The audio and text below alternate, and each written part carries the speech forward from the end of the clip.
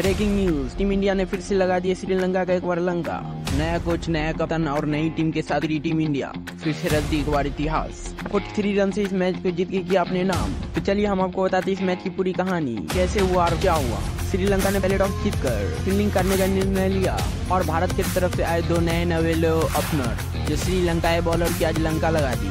और श्रीलंका बॉलरों को मार मार कर फाड़ दिया उसका सिस्टम पावर फ़ील्ड में चौहत्तर रन बनाकर एक विकेट गिराए टीम इंडिया। जो विकेट इंडिया के वेस्ट कैप्टन सुमन गिल के तौर पर गिरा था और छठी ओवर की पहली गेंद पे यशस्वी जायसवाल की विकेट भी चली गई, जो अपनी टीम के लिए काफ़ी अच्छा प्रदर्शन किया। इक्कीस गेंद पे चालीस रन की पारी खेली, जो काफ़ी शानदार पारी थी।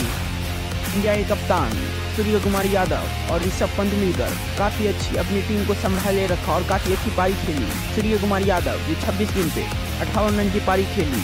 वही ऋषभ पंत जो विकेट कीपर के तौर पे जाने जाते हैं तैतीस तैतीस गेंद पे उनचास रन बनाकर वो पवेलियन चले गए इसके बाद हार्दिक पांड्या आज अपनी टीम के लिए कुछ खास न कर पाए।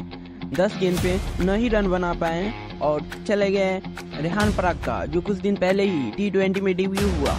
जिम्बाब्वे के खिलाफ। वो भी आज अपनी टीम के लिए कुछ खास कर नहीं पाए। छह गेंद पे सात रन बनाए। रिंकू सिंह जो फिनिशर के नाम पे जाने जाते हैं, वो भी आज अपनी टीम के लिए कुछ खास न कर पाए। और अक्षर पटेल, जो ऑलराउंडर है, पाँच गेंद पे दस रन बनाकर, वो भी पवेलियन वापस चले गए और इंडिया ने श्रीलंका को 112 रन का लक्ष्य दिया, सात विकेट गिराकर। उस लक्ष्य का पीछा करने उतरी श्रीलंका टीम की शुरुआत काफ़ी अच्छी थी। ये दस ओवर तक लग रहा था।